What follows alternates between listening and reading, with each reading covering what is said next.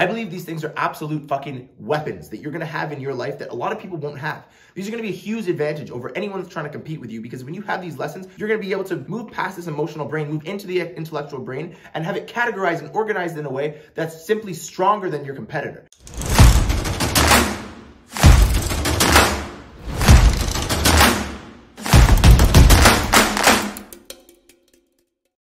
What's going on, gentlemen? It's me, Spencer, back from Must Become. Today we've got a really good video for you guys. This is gonna begin a little bit of a series. I think this is gonna be one of maybe four or five videos where I'm gonna explain and go into a little bit more in depth of one particular topic that has a few subtopics in it. So this isn't necessarily a standalone video. So if you like this video and you like what this video is beginning to get at, I'd encourage you to watch the following videos that are gonna come out very soon after it. And if you've already watched those and you're coming back to the beginning, then I hope that you uh, enjoyed those. And this is a little bit of an intro to what those videos are gonna be about. As always, if you guys like the stuff I talk about, if you guys love this content, you guys are deriving some value from it, then please for the algorithms, smash that like button. If you have any questions or any suggestions on what I could speak about, anything that could help you guys with anything on your mission with respect to fitness, could be relationship, could be with your business, it could be with diet, could be with health in general, how to reduce inflammation, all these things. These are all components of trying to become a better guy and become someone who's actually going to change the world and leave a dent in this universe uh, during the limited time that we have here. If you believe also that what you can become, you must become, please ask any sort of comment in the comment section and I'd be more than happy to help you guys out with anything that you guys want to know in that respect. Um, also, please, if you guys want to derive as much value from me and from this platform as absolutely possible,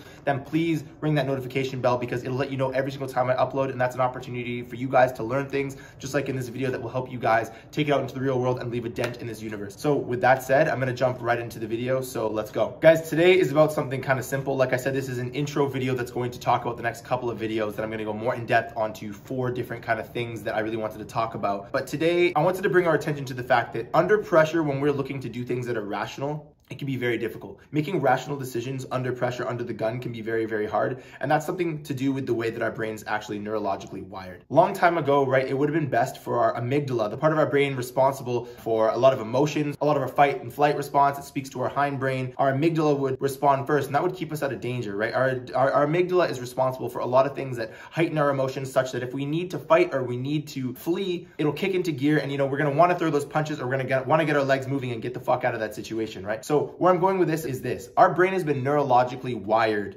to respond first with emotion and then with rationality. And that's why, you know, in this book, um, it's called Emotional Intelligence. You know, I might put a little pop-up of it right here. In this book, it speaks about specifically how emotional intelligence in a lot of senses is actually more important than IQ. So I believe it's your intellectual quotient or your intelligent quotient or something like that. Your EQ, your emotion, essentially your emotional intelligence is even more important. The reason why is not because if you were to put them side by side, that EQ is strictly speaking more valuable than IQ. It's just that in a real life practical situation, your EQ is going to kick in almost every single time before an IQ is going to kick in in most social situations. Generally, when we respond to an intellectual problem, that's because our EQ, our emotional brain has determined that it's not something of importance, not something we need to worry about, and we can skip right to the intellectual part. But if it is something we need to worry about, right, we're in a fight or again, a situation where we need to flee, then our EQ is going to kick in first. And if our EQ says, uh-uh, we need to respond to this, it's not even going to get to the IQ part. That's why you know so many people who have such little emotional control is what will happen is they'll get angry and they can't can't think rationally anymore.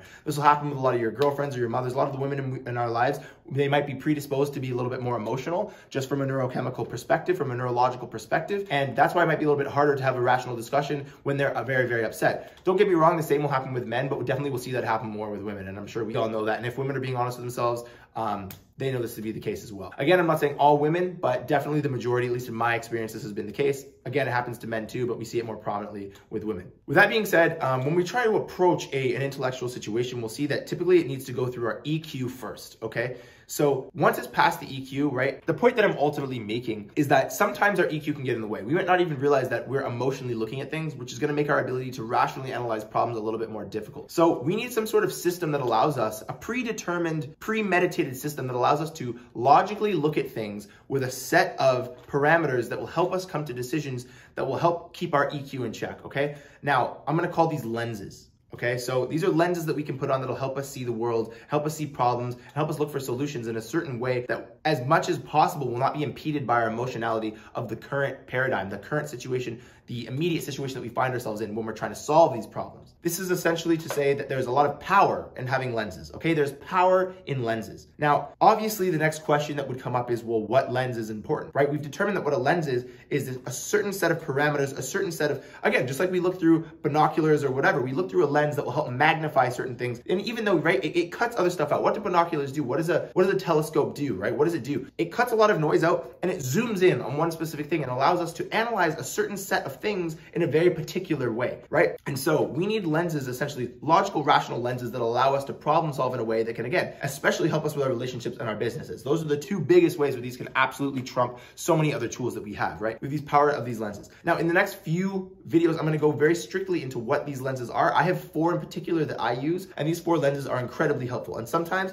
I'll use one in one situation because, you know, I've had more, a little bit more practice using these. And so over time, I get better at deciding which lens makes more sense in which circumstance. But the thing is, is that all of these lenses, you could run through each one. You go one, two, three, four, bang, bang, bang, bang. You go through all of them and you filter a problem through all of them. And by the end, even if you're a very emotional person, you're left with a sense of a more rational, actionable decision than if you were to just leave it to your in the moment thinking and you were to say, well, you know, how do I deal with the fact that my, you know, business partner did something that wronged me? Let's say he, he messed up with money or he messed up with a decision that's really hurting the business. How do I deal with that, right? Well, you run through these lenses and you ask yourself, okay, at the end of this, you refine the problem. Essentially, you put it through this refinery where you say, okay, by the end, you have a more refined, more sophisticated approach towards this issue than if you were to just respond emotionally. Because like I already said, and like the book Emotional Intelligence will tell you, is that you're more prone, as a human being, as rational as you may be, you're more prone to responding emotionally. Even look at those who you know who have, or at least you suspect, have a very, very high IQ. You know, they can be put in situations, everybody can be put in situations where their emotionality goes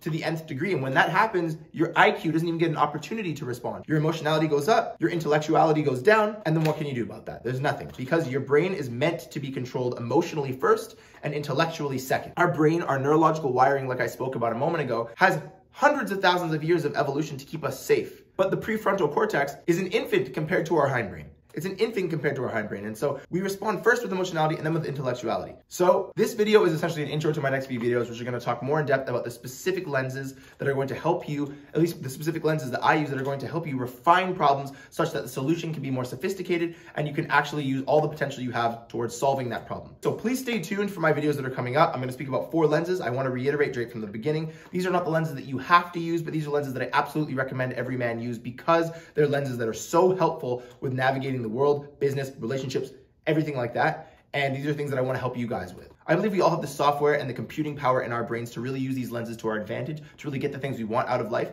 But it requires an introduction to these lenses so that you know how to use them and when to use them. And if you use these, I guarantee you, you're to see your life improve for the better. Absolutely. And so again, guys, I really believe this isn't some sort of secret hack. This is a tool that you're going to be able to navigate the world with so that you can become a man. And when you become a man, that means that you're really pursuing your potential and you're going to pursue that potential such that you can actually become something that you must become. I believe these things are absolute fucking weapons that you're to have in your life that a lot of people won't have. These are to be a huge advantage over anyone that's trying to compete with you because when you have these lessons, you're to be able to move past this emotional brain, move into the intellectual brain and have it categorized and organized in a way that's simply stronger than your competitor. And when you use them in this way, you are going to become what you must become because you take all that potential energy, that potential value that you have, and you turn it into real substance and real energy that's actually going to leave you with a dent in this universe that belongs to you, something that came from you. So anyway, please watch my next videos. There should be three or four follow-ups where I'm going to speak about these lenses. As always, if you liked this video, please leave a like on this video. It helps me with the algorithms. Um, if you have any questions or suggestions or anything like that, or just want to talk with me personally, as always, leave a comment in the comment section. I'm always happy to interact with you guys. And if you like this kind of content, then please ring the bell because when you do, it'll let you know when I release a new video, which will help you derive as much value as possible from the videos that I release. And again, the whole purpose of these videos is strictly to help you and to build this community of men who want to build this world into something that's amazing, who want to do great things no matter what that is. They want to improve their bodies, their relationships, their businesses, everything like that. That's everything that I'm looking to do. So again, if you like this video, please do all those things. Again, this has been about the power of lenses and how valuable lenses can be. I'm going to release three or four other videos following up specifically about the lenses I use to navigate the world that have helped me. And yeah,